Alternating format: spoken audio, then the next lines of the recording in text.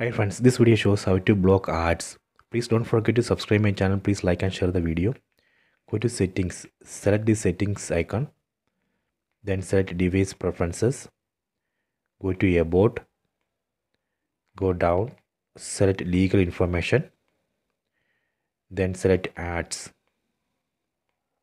So here we have to select this uh, use advertising ID so google uses this advertising id to store our data. Then based on that that data google shows ad.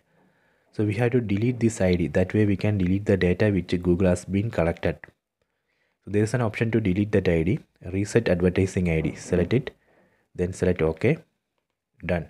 See that id has been deleted then it created a new id so this way we can delete that id and delete the data and block google from showing ads then we have to we have to enable this option opt out of ads personalization.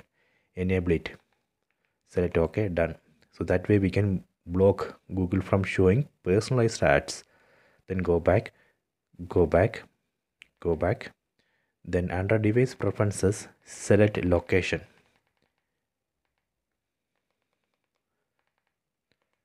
Then select location status. We have to turn off location. That way we can block showing uh, location based ads then go back then select usage and diagnostics. We have to disable or turn off this uh, as well because we don't know what google does with this data. Better turn off usage and diagnostics as well. So this way we can block ads personalized ads. I hope you have enjoyed this video. Please check it